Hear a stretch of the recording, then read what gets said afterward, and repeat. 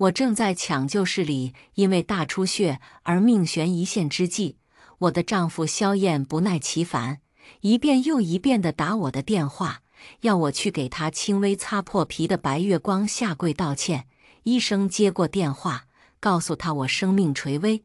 他挂断电话，几分钟后，他拉下医院的电闸，冲进手术室，演，接着演。少爷，不要开玩笑，人命关天。来人，快去把电送上去！主刀医生难得的严肃道，身边却没有人敢挪动脚步。面面相觑，手术室里一片漆黑，但推门而进的男人是什么身份，大家却极为清楚不过。这所医院的总裁儿子，将来的唯一继承人，也是是举足轻重的财阀之子萧燕。我看谁敢动，不许去，否则。你们后果自负。他撂下这句话，目露凶光，死死地盯着我。彼时在冰冷手术台上的我只吊着一口气，因为突如其来的停电，所有的仪器都停止了运转，输血输到一半，手术也被迫停止。萧燕的到来更是把我直接推进了鬼门关。江宁，你给我起来！少他妈演戏了。沈曼现在还在急救室包扎伤口呢，你立马给我滚过去给他道歉！他歇斯底里的怒吼，活像一只正出牢笼的野兽，癫狂、强势。见我没有丝毫行动的迹象，他直接箭步上前，把我从手术台上拽下来。原本连接在我身上的仪器七零八落的摔了一地，发出乒乒乓乓的声响。我被重重的摔在地上，不知是伤口被牵扯到的疼痛，还是心底的绝望。透明的液体流出眼角，萧燕的额角青筋暴起，拽着我直接拖行出去。一路上，我的鲜血蔓延开来，医院的走廊被染红了整条。哪怕他回头看一眼，都能发现我真的身受重伤。可他没有。他喋喋不休的碎碎念，居然敢制造车祸！你这是故意杀人，真是太令我失望了。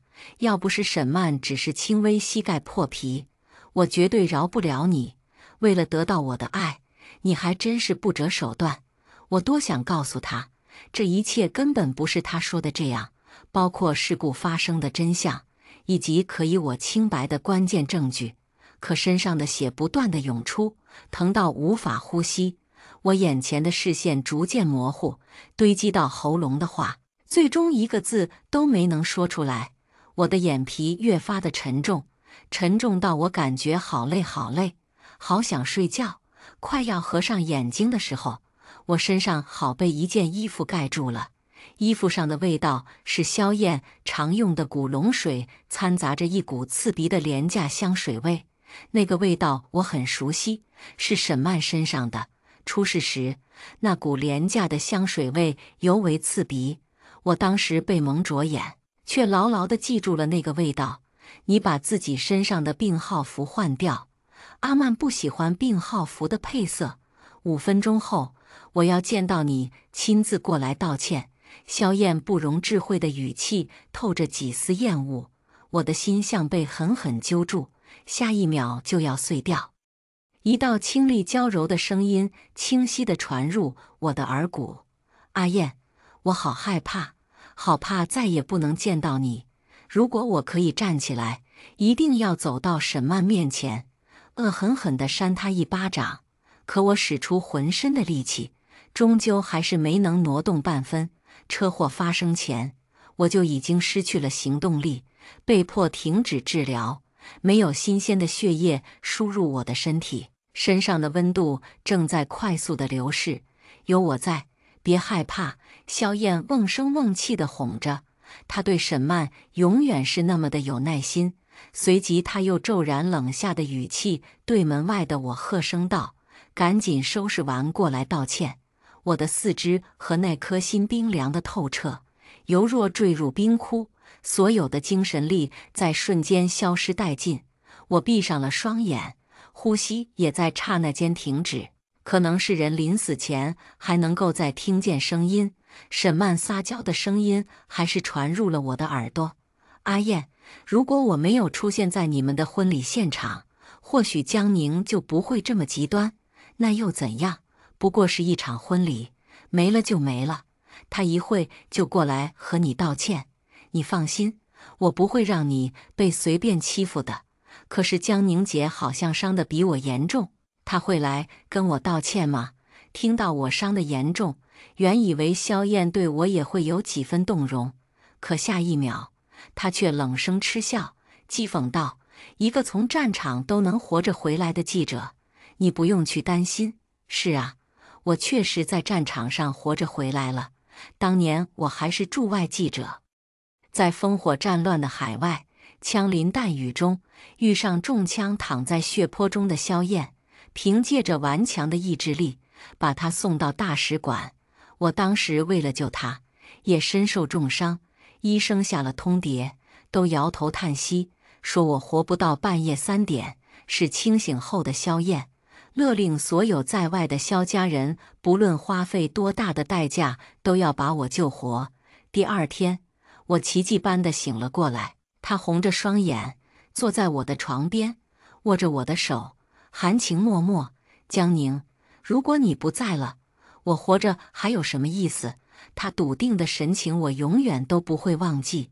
我残存世间的一缕幽魂飘荡在他身边，发觉他提起我时的眼神，早就没了当年的柔情，只有淬了冰的寒霜。怎么还不过来？萧燕低头看了一眼手上的腕表，眉头皱起，语气不耐：“阿燕，要不还是算了吧。江宁姐可能自己也知道错了。”沈曼的话一出，萧燕更加按耐不住。既然知道错了，就要当面道歉。今天必须让他给你道歉。看着萧燕为他抱不平、着急上火的样子。沈曼的眼底隐隐透着一股得意。当萧燕到我的躯体身边时，主刀医生也已经在我的身边了。少爷，少奶奶没了。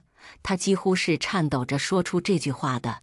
主刀医生曹叔一向特别的关心我，他时常说我像他走丢的女儿。可我从小出生在国外，他女儿走丢的年纪，我已经在叙亚了。即便如此。他还是把我当成他女儿一样疼爱。当我浑身是血被推进手术室的时候，老人一向非常稳的手也在颤抖。别陪他演戏了，曹叔，你没必要处处袒护他。他就是恃宠而骄才如此令人失望。小眼根本不相信曹叔的话，眼底带着戏谑，斥声道：“江宁，不要再装死了，快点给我起来！”他狠狠地踹了我一脚，把盖在我身上的那件衣服也直接踢开。当他看到我浑身是血、面色发灰的瞬间，眼神明显有一丝慌张。很快他就镇定下来，恢复如常。搞这么多的颜料在身上就能骗过我吗？够了，江宁，我的耐心有限。如果你再不起来，我们就离婚吧。换做以前。我知道，听到“离婚”两个字，就会慌张的跟他赔礼道歉。在这段感情里，他时常给我一种不确定的危机感，我总是容易患得患失。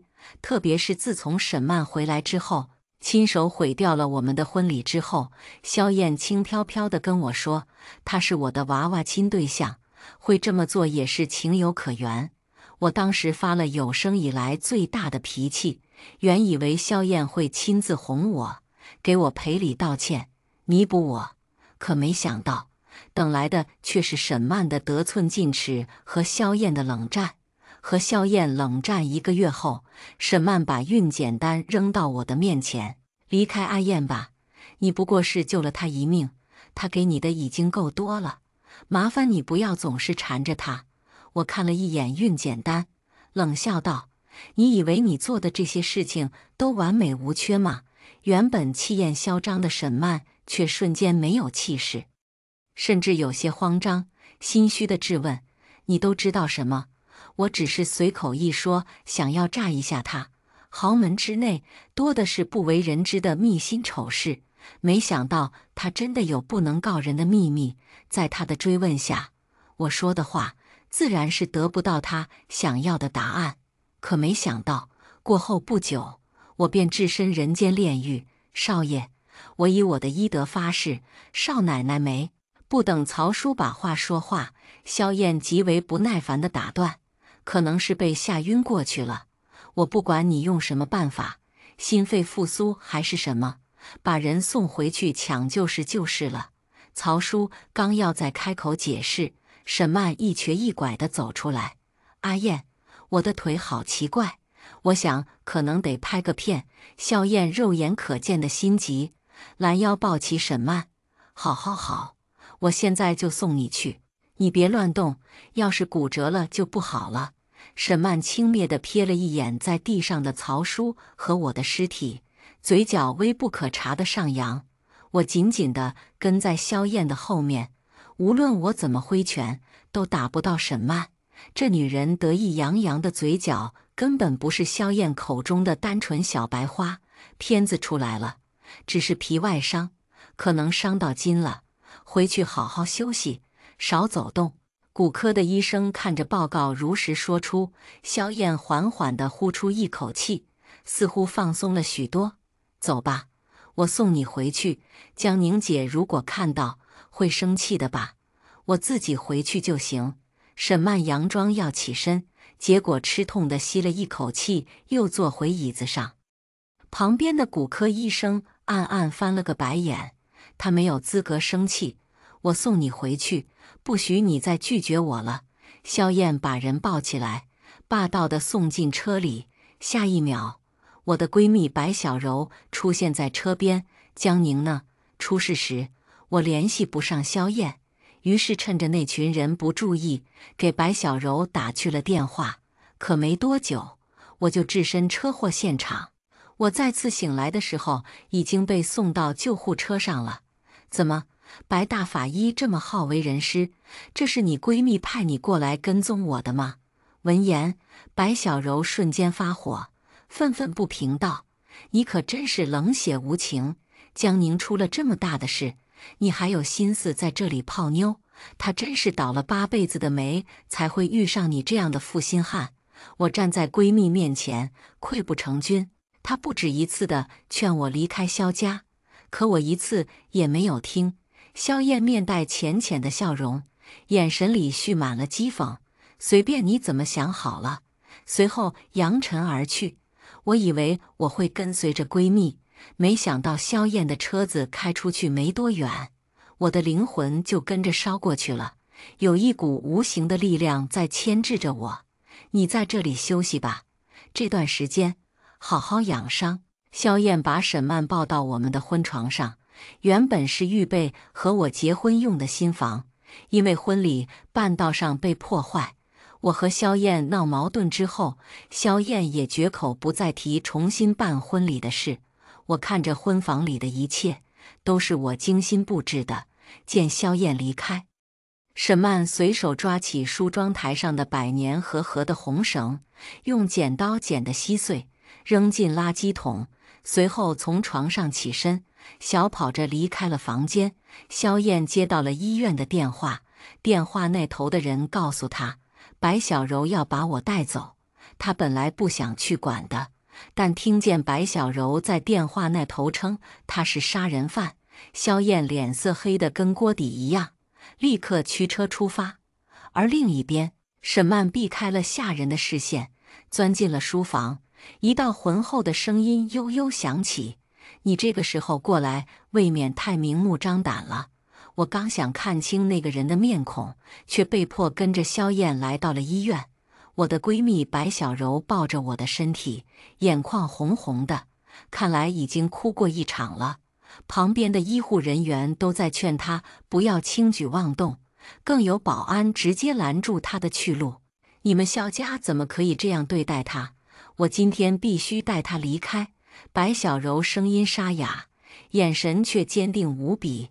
我在他的怀里，双手无力地悬在半空。距离我死亡已经过去几个小时了，血流干了，但身上留下的一道道的伤口仍旧触目惊心。他们把我绑在椅子上，不断的折磨。期间，为了防止我失去意识，还在上面喷了盐水。到最后，他们把我扔进车里，伪装成我驾驶的样子，刹车也是坏的，油门却是踩到底的，一切都在猝不及防的情况下发生。我连呼救和挣扎都没有力气。萧燕赶到现场的时候，正好撞见白小柔抱着我在走廊里歇斯底里。白小柔，这里不是你白家的地盘，有事坐下来说。白家毕竟在是和萧家也算是势均力敌的。萧燕虽然一直看他不爽，但到底有所忌惮。你他妈的还好意思出现？江宁做错了什么？你要把他害死？面对白小柔的质问，萧燕不以为然，反倒是不耐烦。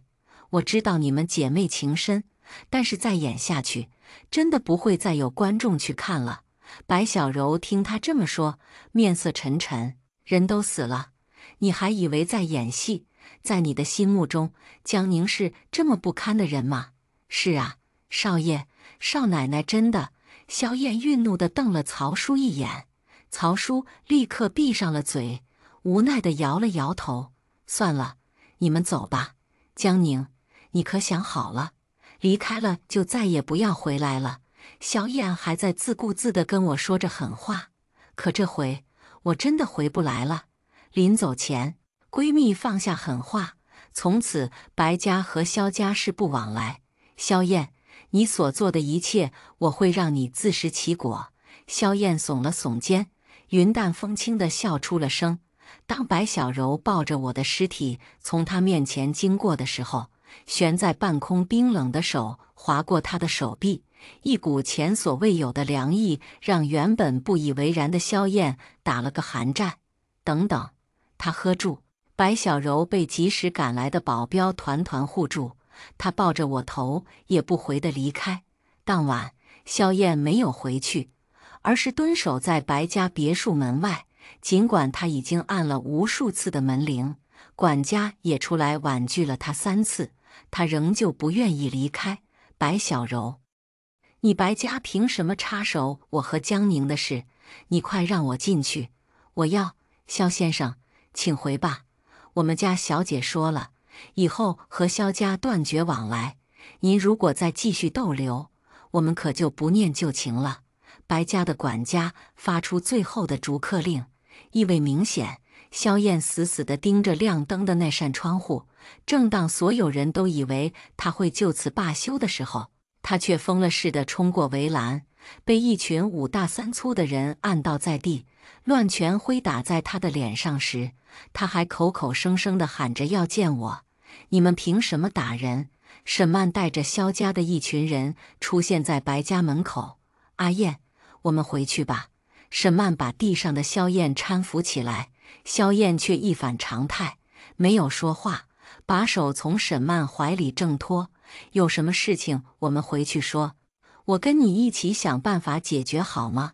沈曼闪过一抹不甘，脸上却布满了温柔。你说他会不会真的死了？萧燕目光空洞，像是自言自语，又像是在询问沈曼。阿燕，你不是说江宁姐在战地都能活下来？吉人自有天相，她应该只是生气了。萧燕的脸上浮现一抹笑容。笑意却不达眼底。与此同时，警察也赶到了现场。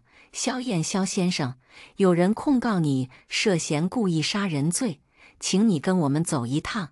萧燕顶着鼻青脸肿的被警察带走。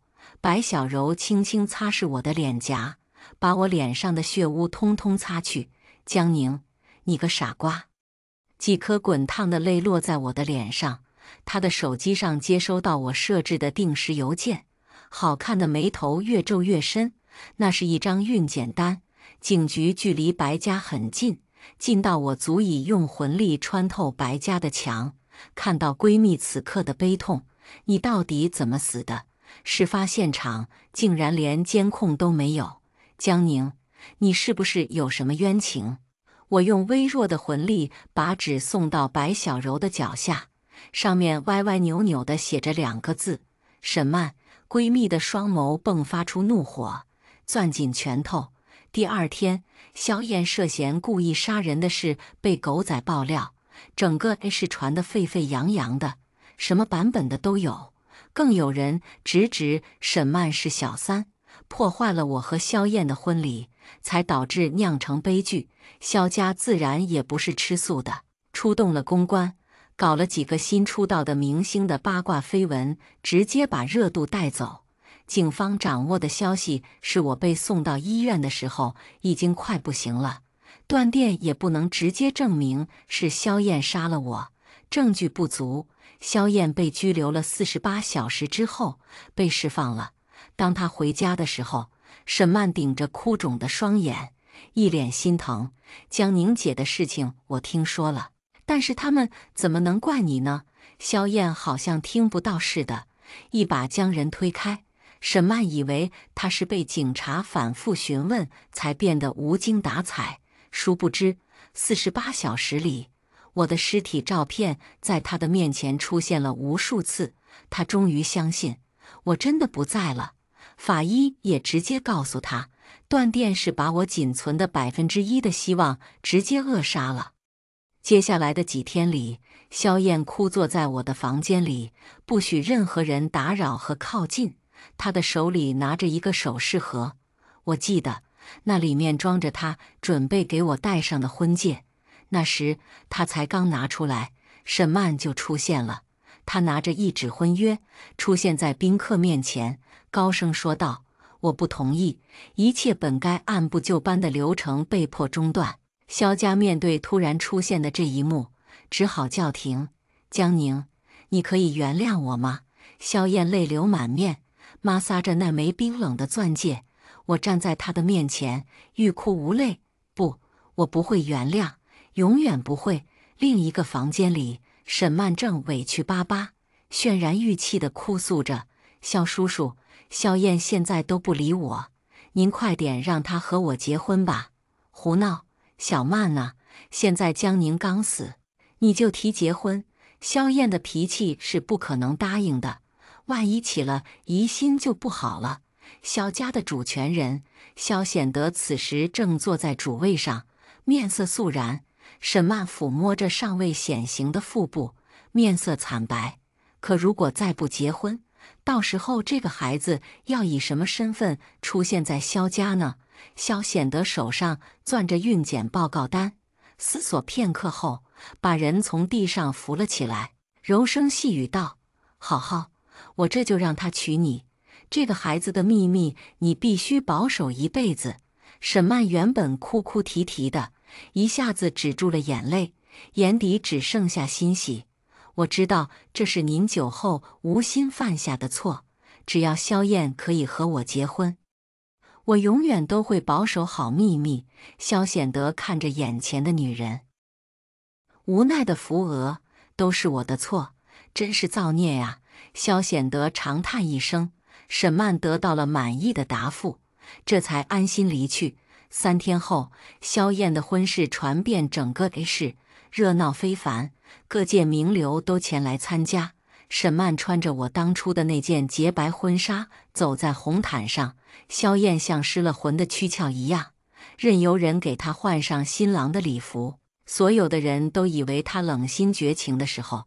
其实这是他病发的前兆。婚礼进行到一半的时候，他的手机上收到了一条信息，上面是关于我的尸检报告以及白小柔这段时间收集的所有的证据。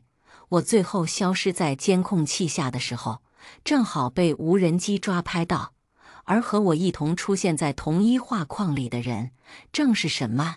最重要的是那张孕检单。当时沈曼在海外检查的时候，是肖显德陪检，距离沈曼回来提前了整整一个月。萧燕看着身边水一般温柔的女人，眼底的诧异转为怒火。啪！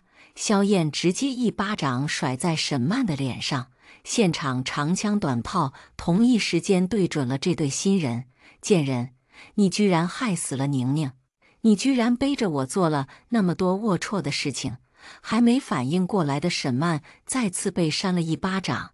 另一边，白小柔直接公开了车祸现场的还原动画，以及尸检报告，消息不胫而走：肖家准媳妇遭虐杀，疑似车祸前受了极刑，身上多处骨折，内脏破裂严重，并非车祸造成。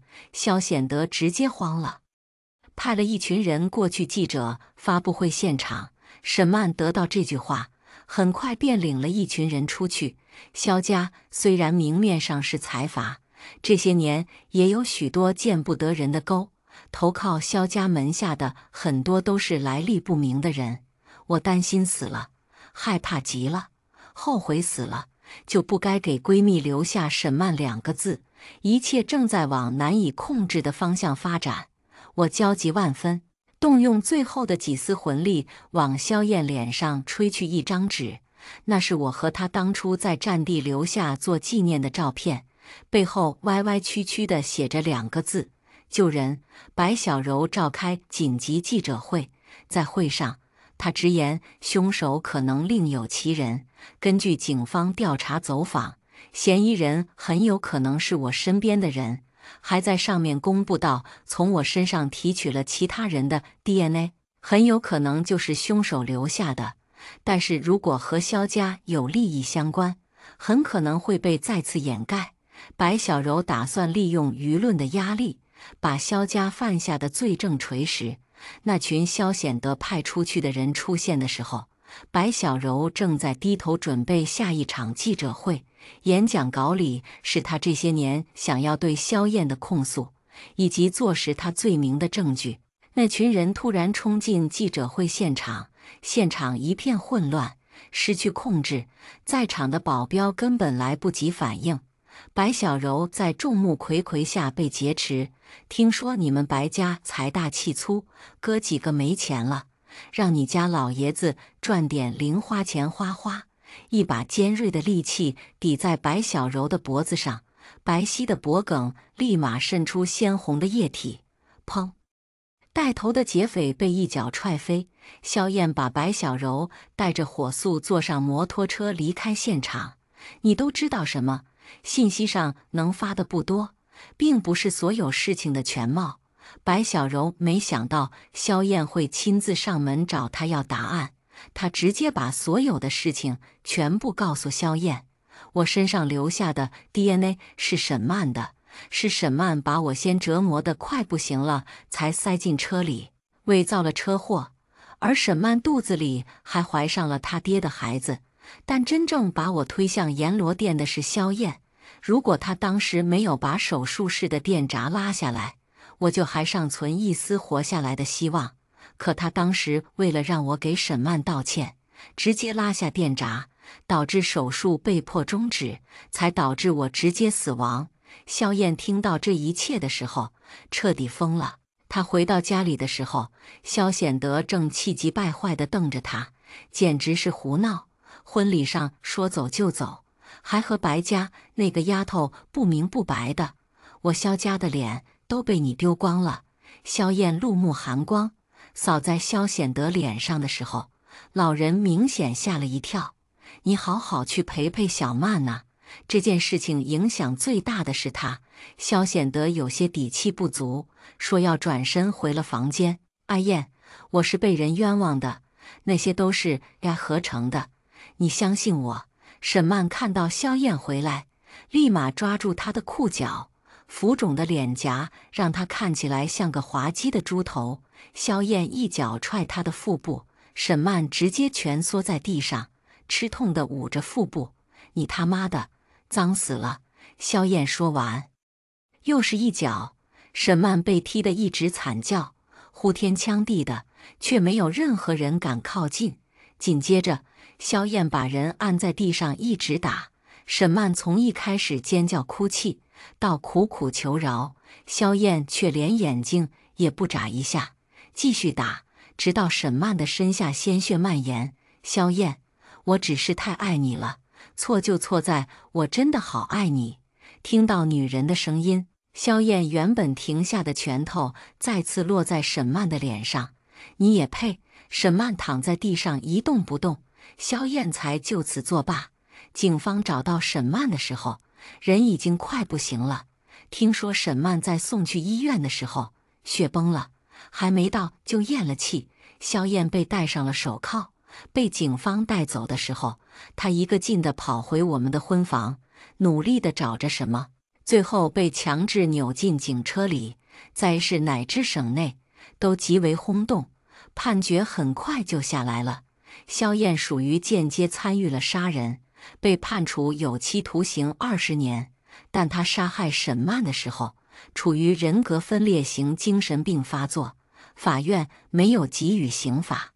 而萧显德藏匿逃犯、劫持白小柔的事情也被捅了出去，跟着他在国外的一些丑事也被曝光，整个萧家陷入动荡，很快被连根拔起。萧显德锒铛入狱，萧燕在收监后不久自缢而亡。死后，他手上还拽着被剪碎的百年和合的红绳，这都是后话了。闺蜜白小柔为了把这些罪证公之于众，费了好大的劲，顶着巨大的压力，不顾生命危险的举动，收获了一堆好评。萧家落败之后，白家成了给城里最顶级的豪门。在我的葬礼上，白小柔泣不成声，我化作风，擦去她眼角的泪水，和她做最后的告别。当我走到轮回大厅的时候，萧燕站在我的面前，我直接无视她的存在，径直从身边走过。萧燕，白小柔在我的苦苦央求下，终于答应让我见江宁最后一面。她的身上虽然已经被清理干净了。可是伤口好多好深，我真是该死！如果我当初选择相信他，不去拉闸，是否一切都会好起来？我抱着他，他却一动不动，软绵绵的，浑身冰凉的躺在那里，任由我怎么打我自己，他都没有像以前那样过来抱着我，阻止我。我真的错了，江宁，对不起。如果有来生，我一定会好好的爱他。接下来，我们来听下一个故事。我和老公已经结婚好几年了，可是最近他的妹妹搬了过来，非要和我们住在一起。这本来没什么，但后来他不仅衣食住行要我老公一手操办，还每天都要亲亲抱抱。我看着腻歪在一起的两人，心里陡然生出了一股恶念。我拖着疲惫的身体回到家中，打开门便看见一个穿着粉色裙子的女孩。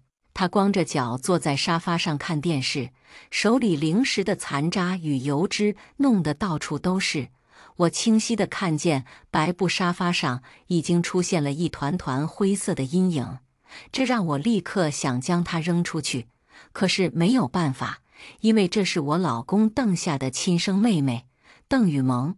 本来她只是隔三差五来家里住上一段时间，本着不想让老公为难的念头，我自然也答应了。可这个邓雨萌实在让我太头疼了。她扭头看见我，面无表情地问道：“你回来了？邓夏呢？”她一边说着，一边还嘬了口手指上的薯片残渣，意犹未尽的样子。我一直觉得她没有规矩。哪有妹妹直呼自己哥哥大名的？还没下班吧？可能一会儿就回来了。我只觉头皮发麻，随便敷衍了两句，便想拿着刚顺路从超市里买回来的菜肉躲进厨房里，觉得有些不妥。我又探出脑袋问了句：“饿不饿？我给你做饭吃。”哪知这小姑娘突然发起火来。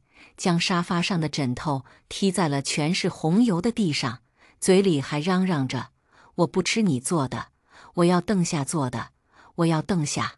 你打电话让他现在就回来，现在就要。”我眼睁睁地看见那雪白的枕头染上难洗的红油，心中的怒火无处宣泄。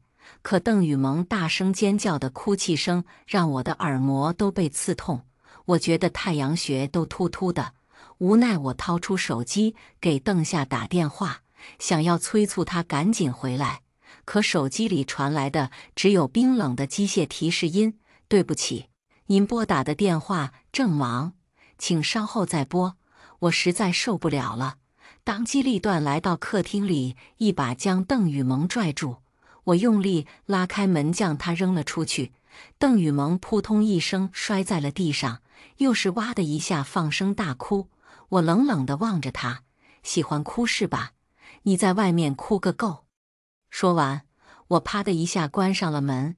门外的邓雨萌大概被我这一番操作吓傻了，因为这是他来我家这么久，我第一次凶他。晚上八点，邓夏回来了，而我享受的短暂片刻的安宁也到此结束了，因为我听见他将门口哭的嗓子已经沙哑的邓雨萌抱了回来，好言好语的轻声安慰着。我不禁捂着脑袋，有些头疼，心想：这么痛苦的日子什么时候才能结束？好一会，邓雨萌似乎是在外面的沙发上睡着了，邓夏才推开门，蹑手蹑脚地走了进来。察觉到我有些疲惫的脸，他站在我的身后，两只手按了按我的眉心：“老婆，我知道你照顾了他一天，辛苦了，他又惹你生气了，对不对？”但是你不应该把他扔在门口啊！他还小。我转过头冷笑一声，将他的手拍掉，毫不留情地讥讽道：“你明天就把他送走。”谁知一向听我话的邓夏突然唱起了反调：“那不行啊！他可是好不容易才来咱家的。什么叫好不容易？”我气不打一处来，转过头瞪着他：“邓夏，我受不了他了。”为什么不能让你爸妈照顾他？哪有小姑子住在哥嫂家的？传出去都是笑话。这句话我没有明说，但我想邓夏应该也知道。他拍了拍我的背，变着花样哄我，百变不离其宗。还是那句，再忍忍，等过段时间就好了。我一下把自己蒙在了被子里，不再看他。邓夏以为我是消气了。长舒了一口气，关掉了卧室的床头灯。嗡，短信震动的提示音让我不得已又拿起了手机。只见上面赫然是邓夏母亲发来的消息：“你为什么要把萌萌关在门外？外面这么冷，你这么狠心，你是人吗？你要是容不下他，你就搬出去住。一天到晚发什么疯？铺天盖地的指责，一条接着一条。”寂静黑暗的房间里，没有人知道。我紧紧握住了拳头，牙齿死死地咬住了嘴唇，委屈的泪无声滴在枕头上晕染开来。这两个月来，我早就忍无可忍，想离婚了。要不是今天邓雨萌睡在了外面的沙发上，平时那个睡沙发的人都是我。要不是父母一直劝我想开点，千万别离婚。找个如此好的老公不容易，我怎么还会这样忍气吞声下去？呵呵，好老公，好老公会让小姑子欺负自己的老婆，还让自己老婆天天受气吗？行，既然没有人理解我，那就别怪我不客气了。邓雨萌和我老公一样，对蜂蜜严重过敏，上次只是不小心喝了一小口蜂蜜水，便浑身起疹子。我看着手里的一大罐蜂蜜，一股脑的全倒进了搅和好的面团里，金黄粘稠的糖浆带着诱人甜蜜的味道，我却感到愉悦。凭什么我要忍受一个跟我没有血缘关系的妹妹？凭什么？芳香扑鼻的小蛋糕做好了，我特意用邓雨萌最喜欢的模具做的，我想，她一定会吃的。我将蛋糕端到了桌子上。他似乎是闻着味儿了，赤着小脚便走了过来。这是什么呀？他眨巴眨巴眼睛，拿起小蛋糕捏在手里把玩。我心想，这不是弱智吧？他都十五岁了，怎么还说出这种茶里茶气的话？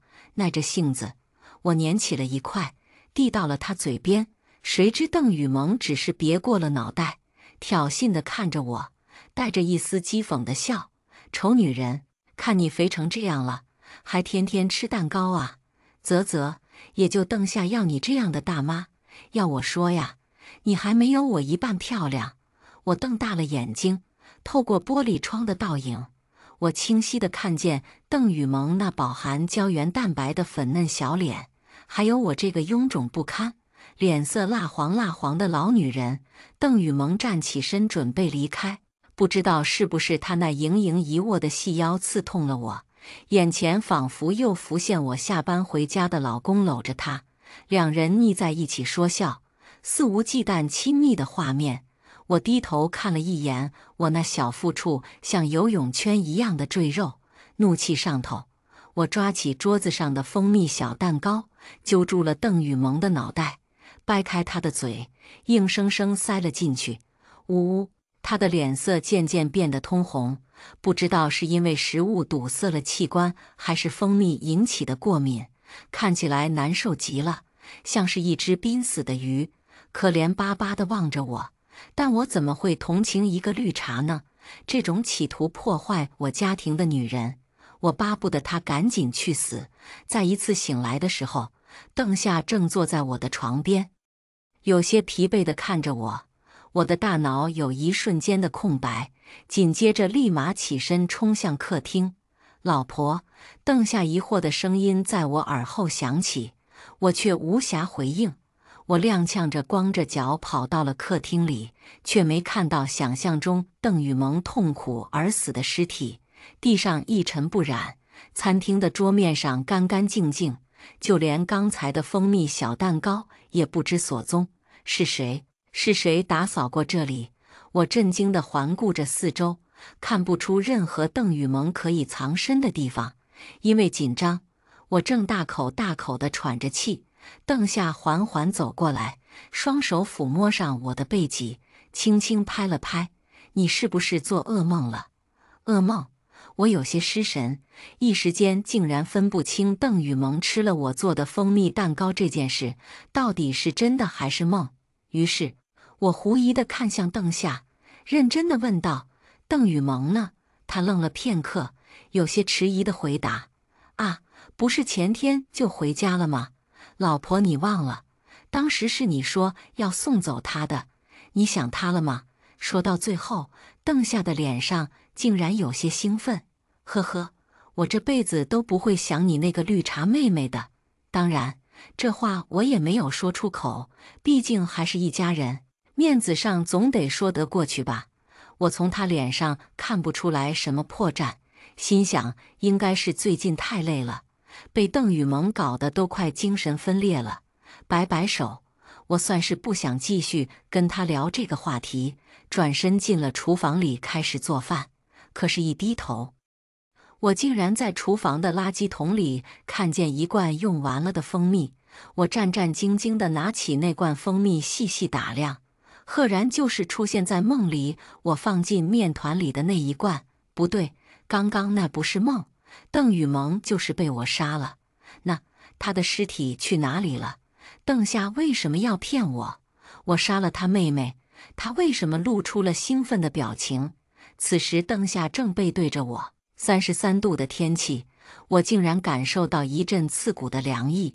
他和邓雨萌那么好，难不成是装的？我想他大概早就想杀了他，只是不知道什么原因。我们心照不宣的互相没有再提起过邓雨萌。可不久后的一天，我无意间竟然听到了邓夏偷偷和什么人谈话。他说的很小声，但我还是清晰听到了“萌萌”这两个字眼。等等，邓雨萌还活着！我当场像是遭受了五雷轰顶一般，一把抢过了邓夏的电话，朝他怒吼道：“你说什么？邓雨萌还活着？”邓夏一愣，又将电话抢了回去，然后飞快将通话挂断。紧接着，他便用力抱住了我，像是在安慰小孩般说道：“老婆，你在乱想什么？”他顿了顿，又继续道：“萌萌的东西安置好了，我想他的在天之灵应该会安息的。”邓夏特意将“在天之灵”四个字说得很重，可这更让我起了疑心。他没有问起那天我到底是怎么杀害的邓雨萌，也没有问我为什么这样做，默认我杀了他妹妹，然后他替我处理了现场，帮我瞒过了他的父母。呵呵，天衣无缝的夫妻二人行凶案，完美到事前都不要商量，事后也不需要讨论。我不是傻子，以我对他的了解，他越是这样，就越是在隐瞒什么。嗯，我表面上装作顺从的样子，将这件事放下了。看着邓夏长吐了一口气，我握紧了拳头。这件事，我势必要追查到底，不然我心难安。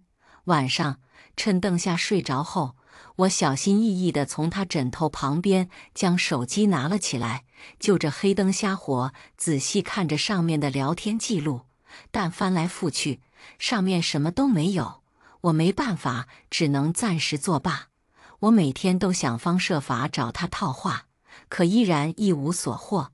一开始，邓夏还心平气和地和我解释、安抚我，可越到后来，他的言语就越激烈，像个被踩到尾巴的疯子，甚至扬言让我去医院看看脑子。两个人最后都各怀怒气睡去了。深夜，我听到窸窸窣窣的声音。忽然醒过来，我意识到是邓夏起身了。此处截断，朦胧间，他从抽屉里拿出了一板药片，取出了一片，扑通一声，似乎是扔进了我的水杯里。做完这一切后，他才躺回了床上。那是什么？我怎么从来没有意识到，邓夏居然在我的水里下过药？脑海里闪过无数的片段，我想。那片药会不会是什么慢性毒药？我的食指狠狠掐进了掌心之中。没想到同床共枕的丈夫居然会对我做这种事。就这样，我熬了一个晚上都没有睡着。次日一大早，在邓夏出门后，我翻箱倒柜，终于找到了那个药瓶。可是药瓶的说明书以及名字已经被人刻意撕去。我并不知道那是什么药物，权衡之下，我从里面取出了一片，然后将药瓶原封不动地放了回去，小心翼翼将取出的那片药用纸巾包裹好。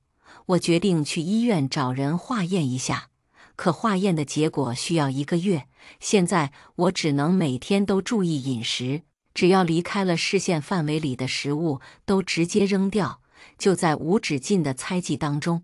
我和他度过了漫长难熬的几十天，但是等待让我愈发焦灼。我觉得我不能再这么坐以待毙下去了。为了找到邓雨萌的藏身之处，我不惜从厨房拿了把刀子抵在了邓夏的脖子上，逼问他。我冷冷地看着昔日的爱人，眼里一片猩红。邓雨萌没死，对吧？你把他藏哪了？邓夏似乎是被我这种行为刺痛了。他瞪大了眼睛，一边失望地看着我，一边用力钳住我的胳膊，试图反抗。可我死死地用尖锐的刀刃直逼他的喉管，不肯收手。他的脖颈蓦然出现一丝血痕，他的喉头滚动。老婆，你冷静一点，你不能伤害萌萌。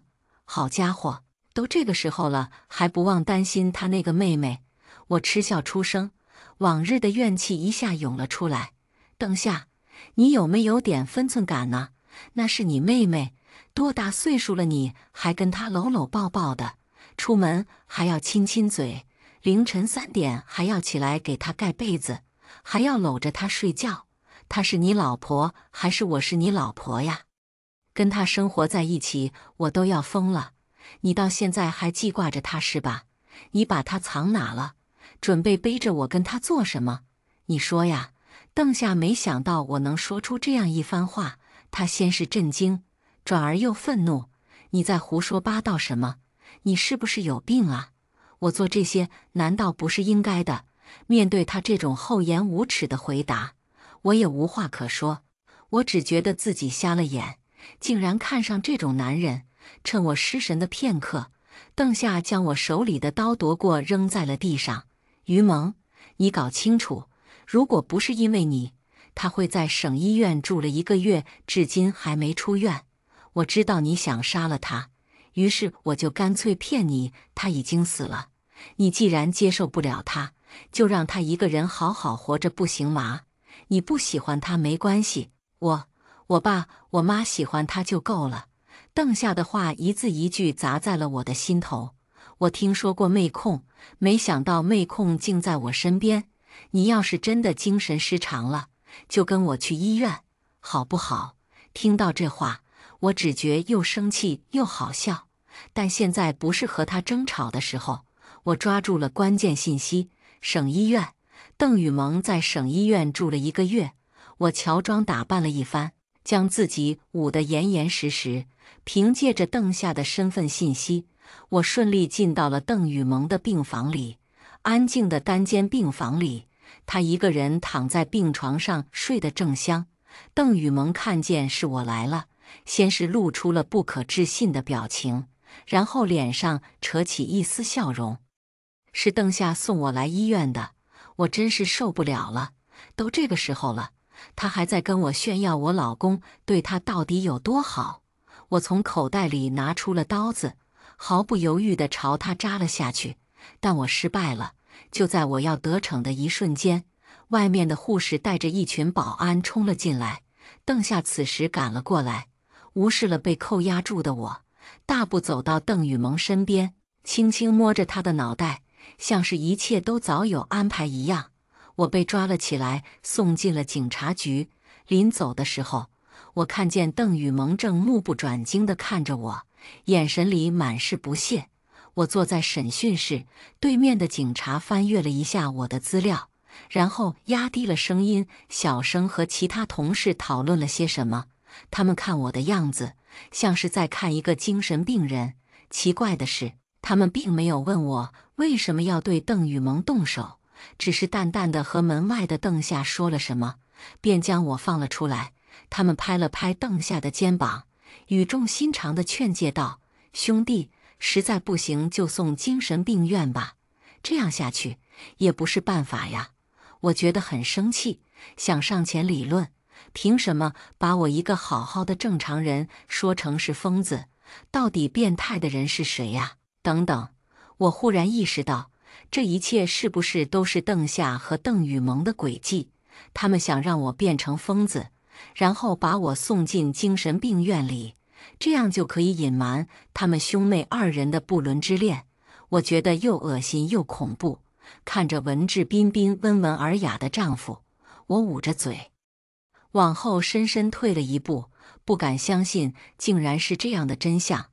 邓夏自从把我从警局里接回来后，就将我锁在房里，除了一日三餐给我送进来以外，他都没有再出现过。卧室里有厕所，他说这样我也能正常活下去。不仅如此，邓夏甚至还没收了我的手机和电脑，将四周的窗户都锁得死死的，隔音效果很好，连邻居都听不到我的呼救。显然。他是在非法囚禁我，我不知道这俩兄妹在搞什么名堂，但我不能这样坐以待毙。所幸几天后，邓夏给我送完饭后，接到一个电话，便匆匆离开了。他甚至忘记自己没有锁门。我从柜子里翻出了银行卡和一只老年机，戴着帽子和墨镜就出了门。这次我不想杀邓雨萌了，我只是想问个明白。我顺利来到了医院，看见了正在花园里晒太阳的邓雨萌，不顾护工探究的目光，我冲上去便按住他的肩膀质问道：“说你和邓夏到底是不是兄妹？”他被我吓了一跳，然后紧紧抓住了护工的衣服，想要躲起来。护工打量了我一眼，眼神里充满戒备，挡在了邓雨萌面前：“这位小姐。”请你离开好吗？你再这样，我要叫保安了。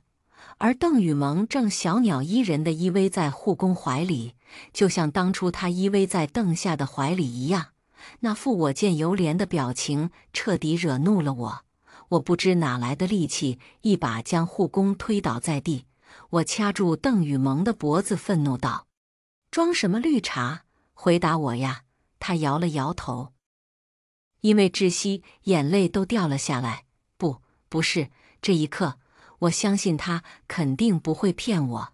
果然，他跟邓夏并不是兄妹。哈哈哈哈哈！我那彬彬有礼的丈夫，竟然是个衣冠禽兽。结婚了这么久，我才知道，他跟他家人都是变态，收养了一个名义上的妹妹，实际上净干一些苟且之事。什么哥哥天天亲妹妹，还要哄着睡。残忍的真相像汹涌的浪潮，要将我击垮。我站在原地，眼泪大滴大滴的从眼眶涌出，不知所措。护工喊来的保安又一次将我抓了起来，而这一次，邓夏直言要将我关进精神病院。不，我不能让这对狗男女得逞。我咬伤了来抓我的两个大汉，疯狂逃跑，抓住他，别让他跑了！邓夏惊慌的声音还在我身后响起。我用尽全力加快脚步，汗水顺着我的耳鬓滴落。我不能停，如果此时停了，我这辈子就完了。他们不会放我出去的，我只能被冠上精神病的头衔，关在那永无天日的病房里。而邓夏和邓雨萌这两个背叛道德人伦的人，只会站在外面幸福相拥，嘲笑着我的不自量力。我不能让他们得逞。绝对不可以！不知道跑了多少条街，身后的人才消失了踪影。我的两腿都已经开始发颤，酸软的无法站立。我扶着墙，瘫软在街角一处灰暗无光的垃圾堆旁。乌云密布的天忽然下起了大雨，雨水砸在我的脸上，无助与委屈瞬间涌上心头。就在这个散发着恶臭味、空无一人的街角。我放声大哭，不知过了多久，直到我的两个眼睛都肿成了核桃才停下。我意识到现在不是该放弃的时候，我还得活下去。父母在去年去世了，此时的我无家可归。摸了摸口袋里的银行卡，我擦了把鼻涕，踉跄着站起身。凭借着之前的存款。我躲了一个月，中途有很多号码打进那个老年小灵通里，我都没有接，还有一些变换着花样劝导我回去的短信。我知道这都是邓夏的戏码，一个字都不能信。本来我的钱足够我活上好几年，可一条银行转账记录让我彻底断了生路。我顿时反应过来，是邓夏拿了我的手机。用手机银行转走了我这张卡上剩余的所有钱，他在逼我现身。我以为邓夏只是吓唬吓唬我，是个人都还有点夫妻情分吧。结果整整一个星期，他都没有往卡里转回过一分钱。白天我在街边流浪，饿了只能翻翻垃圾桶，渴了只能捡别人不要的矿泉水瓶。晚上露宿在充满蚊虫的公园里。我终于无法忍受这一切了，邓夏呀，邓夏，你既然不想让我活着，我也不会让邓雨萌好过的。在我心中隐藏了许久的杀意又再一次苏醒了，只是这一次比以往的还要浓烈。这是我第三次来到省医院，凭借着前两次的失败经验，这一次我轻而易举便来到了邓雨萌的房门口。畅通无阻的，好像是有人故意在等我。没关系，就算是圈套，只要有一丝能杀死邓雨萌的机会，我都不想放过。他死了，邓夏也会痛苦的想死吧。我摘下了口罩和帽子，亮出了明晃晃的刀子，直奔他去。周围的病患看见蓬头垢面、还手握凶器的我，顿时发出了刺耳的尖叫。我不在乎这一切，不在乎即将要来的保安。我现在就要杀了他！我冲进了病房里，将邓雨萌一把从床上拽了起来，挟持到了窗户边。果然，还没等我有所行动，病房外就站满了警察和护士人员。想必从我踏进医院的第一秒，他们就已经全副武装，准备收网了吧？邓雨萌似乎发烧了。小脸烧得通红，闭着眼睛像个破布娃娃，任由我摆布。这时，邓夏挤开了人群，慌忙跑到了我面前，松开他。于萌，杀人是犯法的。我拿出刀，毫不留情地指着邓夏，表示如果他再过来一步，我会立马将刀子戳进邓雨萌的心脏里。滚！你们都不想让我好过，我一定要带着他一起死。我也要让你们尝一下我的痛苦！我疯狂地叫嚣着，像是一头被惹怒的狮子，看着越来越多的人出现。我不停地朝窗边靠，直到半个身子都探出了窗户。邓夏摆了摆手，微微弓起腰，朝后退了两步，大概意思是让我不要太冲动。这时，邓雨萌忽然睁开了眼睛，大大的眸子里倒映着我已经疯魔的脸。他看见自己的身子已经悬挂在窗边，摇摇欲坠，吓得大喊：“救命！呜呜呜呜！妈妈不要！我害怕！”他摇着脑袋哭泣，喊着“妈妈”。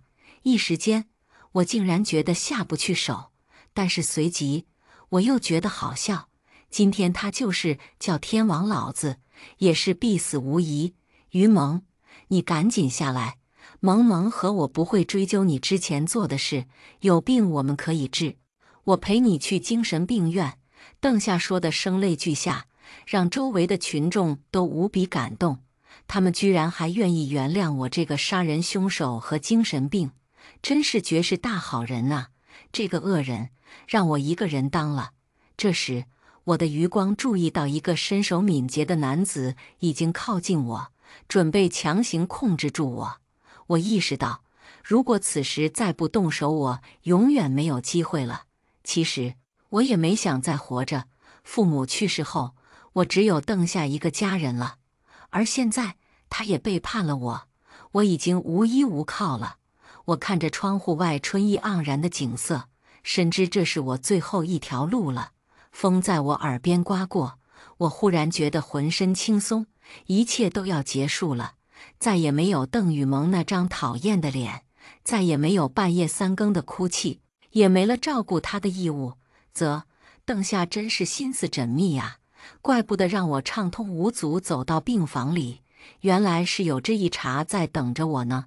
我抱着邓雨萌从窗台上跳了下来，落到了早就准备好的气垫上，于是我还是被关进了精神病院里。但没想到的是，邓夏居然每天都来看我。一时间，我竟然分不清他是装的还是真的。那些护工送来的药，我都拒绝服用。我想，如果我真的吃了这些药，才会变得神志不清吧。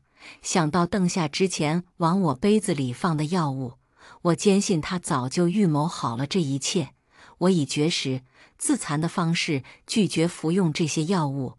护工没有办法，只能叫来了邓夏。他挽着邓雨萌，两个人看起来你侬我侬的。我微微眯起眼睛，目不转睛地看着他们俩紧紧相扣的双手。于萌，你到底怎么样才肯吃药？邓夏对我似乎特别不耐烦。这时，邓雨萌踮起脚，让邓夏弯下腰，听他说了些什么。邓夏神情复杂地看了我一眼。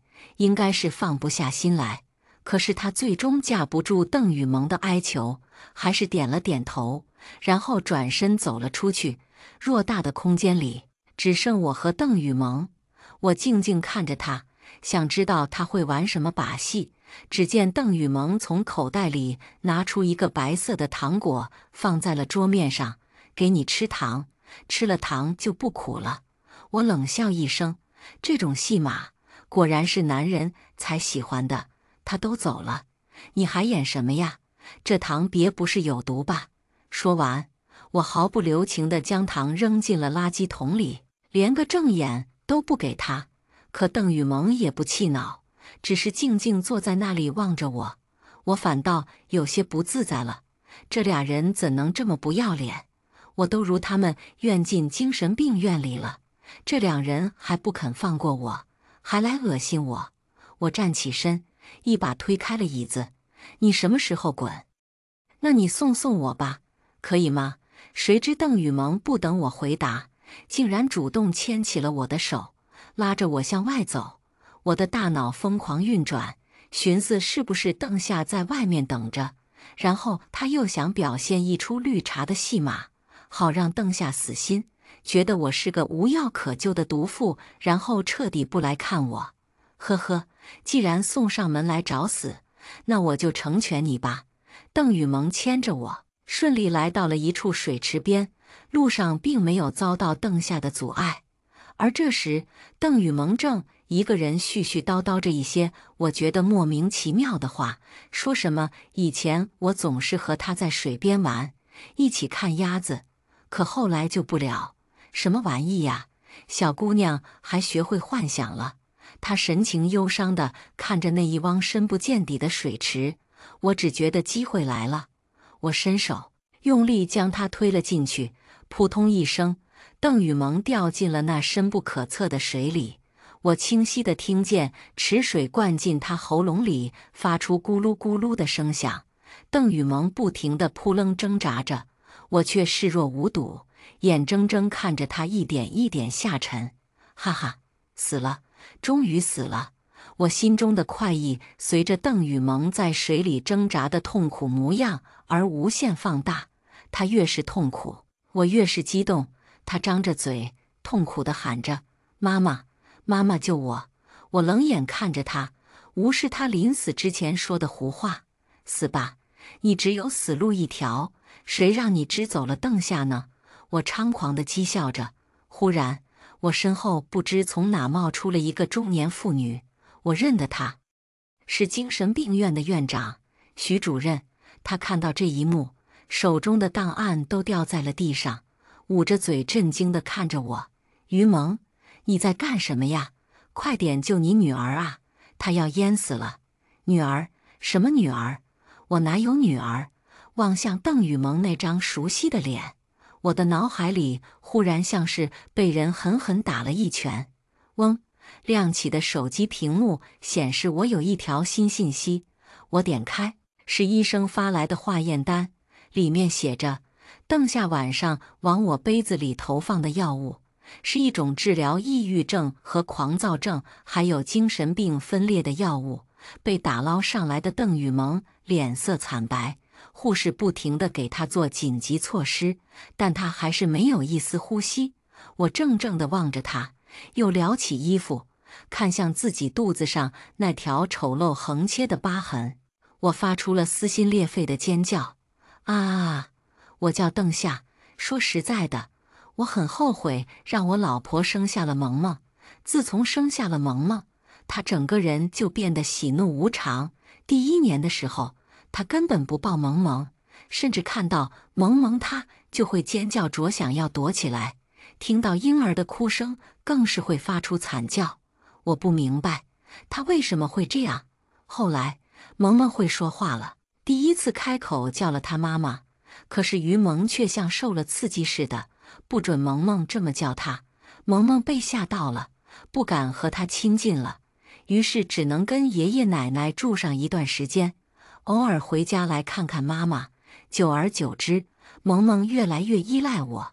可是于萌的病越来越严重了，他一开始是回避萌萌，后来总是嚷嚷着要让萌萌离开家里，不准我抱她，不准我亲她。可是女儿还小。我怎么能弃之不顾？又到了接萌萌回家住的日子，于萌这次居然将萌萌扔在了家门口。他说一定要将萌萌送走，他快要疯了。我不知道他这种压力从何而来。我问过医生，他们说可能是产后抑郁，要注意产妇的情绪，不能受刺激。我只能安慰自己，等萌萌长大了就好了。可他似乎开始对萌萌有了杀心，居然给萌萌吃蜂蜜蛋糕。虽然萌萌不说，但我知道一定是他做的。我真的无法想象，为什么会有母亲不爱自己的儿女？那可是怀胎十月生下的亲生骨肉啊！萌萌请求我回去后千万不要指责妈妈，我真的很愧疚。她小小年纪为什么会遭受这种痛苦？我没有办法。只能将萌萌暂时安排在医院里，骗于萌说萌萌已经死了。等于萌病情好转过后，才告知他真相。怕他抗拒吃那些治疗抑郁的药，我只能偷偷放在他喝的水里。可是有一天，他竟然偷听到了我的电话，居然拿着刀子冲去省医院要杀萌萌。还好我一直开着他手机上的定位，能随时跟踪他。他是真的疯了，怎么办？我要不要把他送进精神病院里？可是我不忍心让他受苦，只能先口头威胁，然后把他关在家里。我错了，我应该早点把于萌送进医院的，也许他的病就会有所好转了。邓雨萌的日记，二零一八年八月。我叫邓雨萌，今年七岁了。妈妈叫爸爸邓夏，那我也叫爸爸邓夏。说不定这样，妈妈就会喜欢我了。我也不知道为什么妈妈突然不爱我了，老是让我住在爷爷奶奶家。可是奶奶老说我是赔钱货，我不想住在奶奶家。我想妈妈。二零一八年九月，今天妈妈给我做了蛋糕，叫我来吃。哇，好开心！我闻了闻，发现是蜂蜜味的。可是我和爸爸对蜂蜜严重过敏。妈妈为什么不记得了？我只是说了一句“妈妈，我不能吃这个”，她便生气的将所有蛋糕都塞进我的嘴里，还念叨着一些我听不懂的话。我好害怕。妈妈为什么会变成这样啊？爸爸回来了，发现已经晕倒在客厅口吐白沫的我。他把我送到了医院里，询问我事情的缘由。我不敢告诉他是妈妈给我吃的蛋糕，于是便说是我贪嘴偷偷买了蜂蜜味的蛋糕。我不想看到爸爸在和妈妈争吵了。二零一八年十月，妈妈来医院看我了，好开心。可是妈妈看见我，为什么会露出害怕的表情？她居然问我和爸爸是不是兄妹？妈妈，这是什么了？好恐怖！爸爸说妈妈生病了，会做一些危险的事情。原来是这样啊！二零一八年十一月，妈妈居然抱着我跳楼了，我好害怕。我问爸爸：“妈妈是不是真的不喜欢我？”爸爸说：“不是，可我觉得就是。下次见到妈妈的时候，我要好好跟妈妈单独说清楚。邓夏从来没有什么妹妹。”是我把邓雨萌臆想成了一个横刀夺爱的绿茶妹妹，甚至有些时候，即使她什么话都没说，我都会脑补出一些恶毒的话，假装是他说出的，然后心生怒气。我被带到了警察局，坦白了一切。邓夏的父母拿着邓雨萌的遗物，痛不欲生。他们指着我的鼻子骂道：“贱女人，都是因为你生了个赔钱货女儿就算了。”现在还做出这种丧心病狂的事情，我们老邓家真是倒了八辈子血霉呀！我看着他们丑恶的嘴脸，脑袋里混沌了起来，不由得想起了在邓雨萌刚出生的时候，因为婆婆的辱骂，我经常想着要不要带上邓雨萌一起死了算了，反正生的是个女儿，他们也不会真心相待，不如死了早点投个好胎。这样，也许萌萌的生活还会好过一点。想到这，我不禁冷笑了一下。啧，我半夜起来给萌萌换尿布的时候，你们在干什么？你在跟邓夏说，赶紧再生个儿子。邓夏母亲眼神闪了闪，解释道：“那我们也对萌萌好啊，哪像你，居然还想杀了他。”我轻嗤了一声。你口中的好，就是跟楼下大妈闲聊的时候说，以后找个好人家，把萌萌几十万嫁出去，就不赔钱了。听到这，邓夏母亲缩了缩脖子，一时间答不上话来。最可笑的还是你，我瞪大眼睛，死死地看着邓夏，字字泣血。